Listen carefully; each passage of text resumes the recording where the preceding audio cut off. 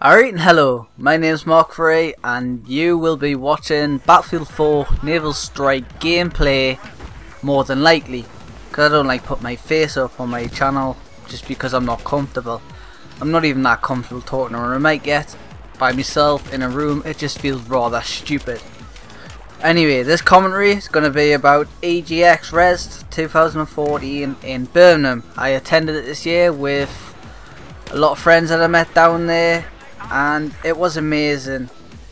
Seeing the hard work and passion devs and content creators have, have inspired me to put more effort into my channel, hopefully bringing you guys better content. Also me being a AAA Titan fan, sorry, also me being a AAA title fan, not Titan, I've got Titan on the brain, title fanboy, makes me look and respect indie games in a completely different way than what I already did.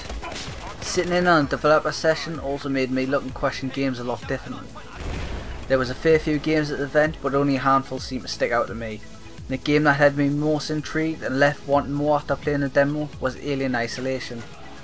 The booth was very well set up, making your mind play with the eerie music, dark rooms and an instructional video voiced by an in-game soldier telling you to run and not to fight.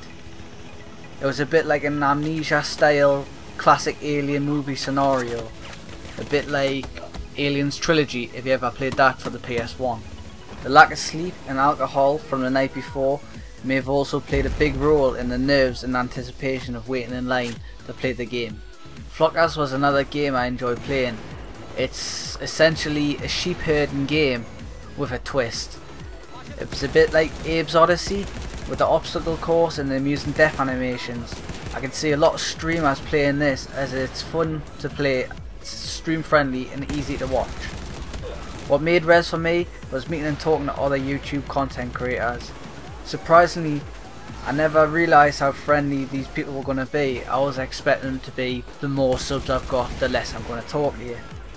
They were all very keen to give out advice and ideas to help one another out. If you're into games in YouTube but you've never been to Res, I highly recommend going.